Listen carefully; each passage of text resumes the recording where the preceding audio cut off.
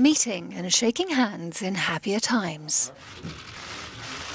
But now Barack Obama has said the US will take action against Russia over claims of its involvement in the country's recent presidential election.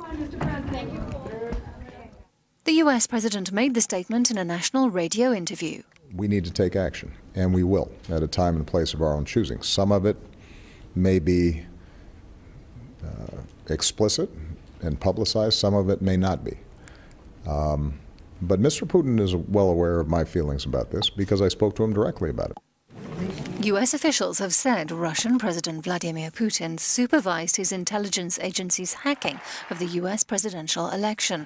They turned it from a general attempt to discredit American democracy to an effort to help Donald Trump, it's claimed. We'll find out on November 8th, but I think... Russian officials have denied the accusations of interference. Donald Trump himself says he won the November the 8th U.S. election fairly.